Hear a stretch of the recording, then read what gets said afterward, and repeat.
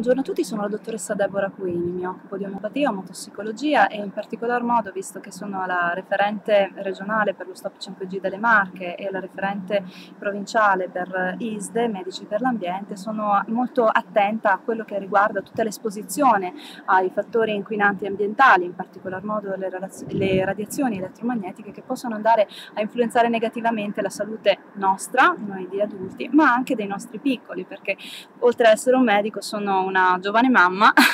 giovane o comunque neomamma, eh, e eh, la preoccupazione nei confronti di quello che può essere l'impatto ambientale sulla loro salute è qualcosa che dovrebbe essere assolutamente molto condivisa, soprattutto da noi eh, addetti alla salute, quindi noi operatori della salute. E eh, purtroppo ancora oggi non c'è una vera consapevolezza, non c'è una vera conoscenza di quelli che possono essere i danni nel momento in cui esponiamo un organismo in crescita non soltanto a inquinanti come eh, inquinanti inalatori, le polveri sottili, inquinanti che sono nell'acqua, l'arsenico, ma eh, anche agli inquinanti che possono essere eh, dovuti ai campi elettromagnetici e che purtroppo possono andare a eh, impattare negativamente sul neurosviluppo del bambino. Ora eh, nella nostra scuola verranno trattati diversi argomenti, tutti quelli che ovviamente eh, oggi nelle relazioni sono stati già presentati eh, e si tratterà anche di tutta la problematica che riguarda l'esposizione ai campi elettromagnetici dei ragazzi, non soltanto per